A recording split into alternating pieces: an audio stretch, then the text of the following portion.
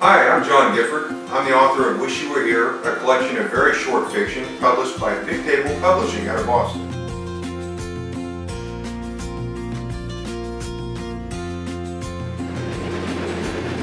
Wish You Were Here is a collection of uh, short fiction exploring the lives of working class men and women and, adolescents in settings from Africa to the American West.